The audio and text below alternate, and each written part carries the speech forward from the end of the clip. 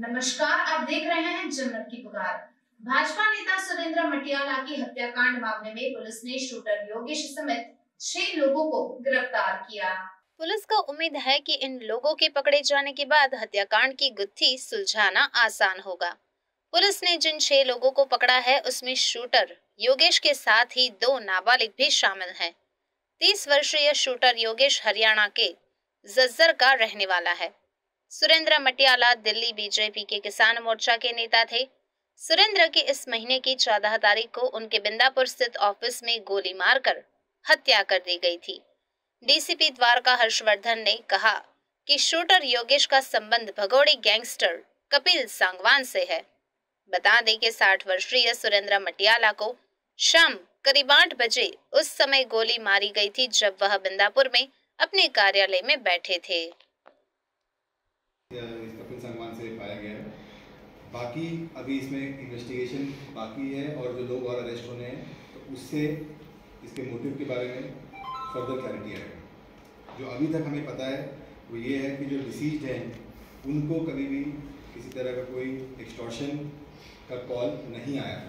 उनके परिवार वालों ने भी यही कहा है कि कभी भी उनको डिसीज को किसी क्रिमिनल गैंग की तरफ़ से एक्सटॉर्शन का कॉल या धमकी नहीं मिला था। तो इसका जो एग्जैक्ट मोटिव है वो अभी हम स्पेकुलेट ही कर सकते हैं बट जो मेन कॉन्स्पिरेटर्स हैं जो इसको कराने वाले जो व्यक्ति है जैसे एक छारा गाँव का रोहित है जो इसमें मेन कॉन्स्पिरेटर है जब वो पकड़े जाएँगे तो हम इसका एग्जैक्ट मोटिव के बारे में और आपको फर्दर बताएँगे। अभी जो हमने जिनको पकड़ा है उनके उनको तो इसके बारे में बहुत ज़्यादा आइडिया नहीं है कि वाई दिस हमें अभी यही पता है कि कपिल संगवान गैंग से जुड़े हुए हैं और वो, वही इस इंसिडेंट को प्लान किया गया है। बट एग्जैक्ट मोटिव क्योंकि उन्होंने कभी ना इनको एक्सटॉर्शन किया, ना इनके ऊपर थ्रेट किया तो किस मोटिव से किया होगा वो मेन कॉन्स्पिरेटर पकड़ने के बाद ही पता अभी तो प्योरली स्पेकुलेशन जो चल रहे हैं कि उनका कोई सोशल टाइज थे किसी और के साथ जिसके कारण किया है, या उस तरह की बातें बट उसके बारे में कोई हमारे पास किसी ने भी, जो पकड़े गए पकड़े गए व्यक्तियों में से भी किसी ने भी इस बात पर कोई इन्फॉर्मेशन नहीं की सर सुरेंद्र सोलंकी इनके कोई पार्टनर भी हैं? और क्या हाल फ़िलहाल में इन्होंने कोई ज़मीन की डील वगैरह की थी? या कुछ ऐसी चीज़ें आई हैं कि किस बिज़नेस में थे प्रॉपर्टी के बिज़नेस में? थे वो बेसिकली एक पॉलिटिकल पार्टी से जुड़े हुए थे। और आ, कोई भी प्रॉपर्टी का मुद्दा या प्रॉपर्टी का डिस्प्यूट सामने नहीं आया है जो कि इस मर्डर का कारण सर, जब दो नाबालिग पकड़े, उनकी क्या इन्वॉल्वमेंट वो किनके टच में है? जो एक बाइक यूज़ हुआ था इस पर्टिकुलर इंसिडेंट में, जो कि सेक्टर सात द्वारका से, थाना द्वारका साउथ लगता है, वहाँ से इंसिडेंट के दिन ही सुबह में चोरी किया गया। तो उस चोरी में वो शामिल थे और वो जो मेन कॉन्स्पिरेटर है, इसमें जो छाना गाँव का जो रोहित है, उससे ये टच में थे, उससे मिले भी थे और जो डिसीज है, उसके बारे में भी उन्होंने कुछ इन्फॉर्मेशन इनको पसंद किया। ये रोहित और ये सुरेंद्र सोलंकी इनका कोई कनेक्शन है क्या? नहीं ऐसा कोई चीज़ नहीं ये रोहित शूटर है या कॉन्स्पिरेटर है? रोहित तो main one of the conspirators है। जो शूटर है वो योगेश है है बट वो भी सेम का है। हत्या के दौरान रोहित का कपिल था? मतलब संपर्क था इनका। कुछ ऐसा पता चला? कपिल सांगवान से क्या कनेक्शन इनका अभी तक ये उसी गैंग से एसोसिएटेड है और जो चौदह अप्रैल को बिंदापुर थाने के एरिया में एक मर्डर रिपोर्ट हुआ था।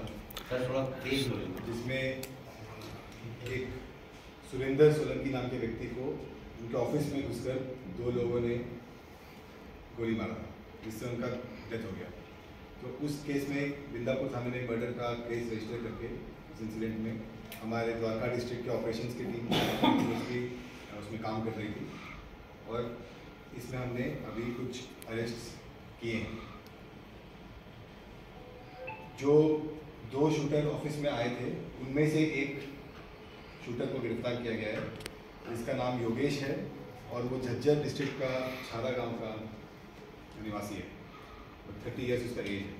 उसके पास से एक वेपन भी रिकवर किया गया है और पाँच लाइफ कार्ट्रिज भी रिकवर हुए उसके अलावा हमने पाँच और लोगों को पकड़ा है। इसमें से दो जुबनाइल हैं और तीन अडल्ट हैं उनको हमने इस क्रिमिनल कॉन्स्परेसी में शामिल रहकर, इस मर्डर में जो कॉन्स्परेसी क्रिएट हुआ और उसको एग्जीक्यूट करने के लिए जो लॉजिस्टिक सपोर्ट चाहिए थे, वो सब प्रोवाइड करने के आरोप उन सबको गिरफ़्तार किया है।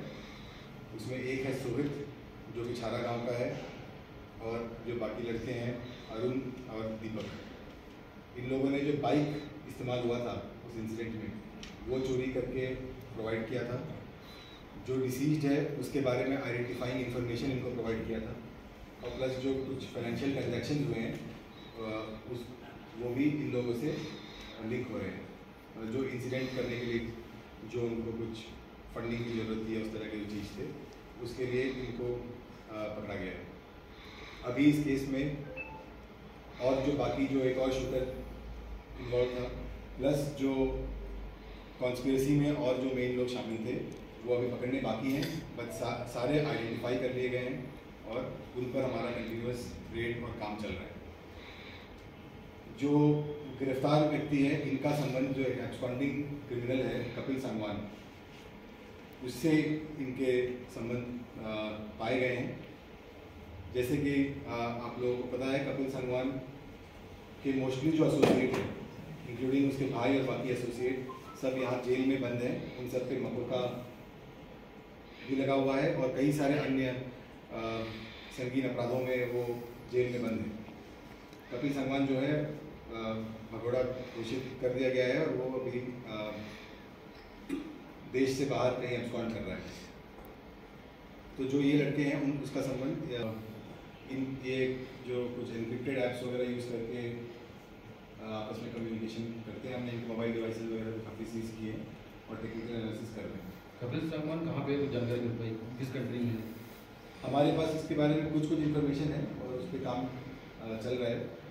इस केस में काफ़ी ज़्यादा टेक्निकल एनालिसिस और डिफरेंशियल ट्रांजेक्शन है उसके एनालिसिस ये सब करके काफ़ी अच्छा हमारे पूरे ऑपरेशन के टीम में जितने हमारे ऑपरेशन के इंस्पेक्टर हैं नवीन कमलेश सुभाष रघुवीर सबने इसमें बहुत अच्छा काम किया है। इस मर्डर के बाद कपिल सागवान ने पे कहा था कि उसने मरवाया।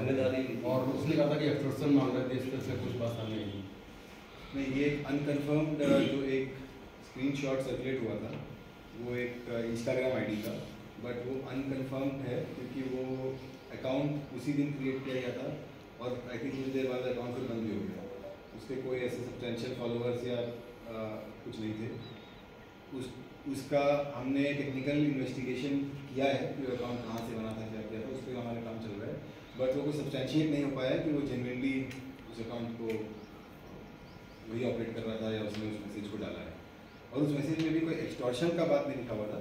उस मैसेज में ये नहीं लिखा गया कि एक्सटॉर्शन का डिमांड किया गया था इनसे।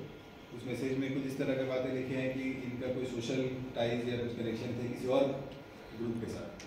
जिस कारण से ऐसा उसमें लिखा हुआ था बट ये भी कोई कंफर्म बात नहीं है। और उस मैसेज का मतलब सत्यापन नहीं कर पाए कि ये सही में उन्होंने पोस्ट किया है क्या इसमें कोई लालच बिज़नेस का कनेक्शन है अभी तक ऐसा कुछ सामने नहीं आया। ठीक है सर थैंक यू अगर आपने हमारा अभी तक चैनल सब्सक्राइब नहीं किया है तो कृपया चैनल सब्सक्राइब कर लें लाइक करें शेयर करें कमेंट करें।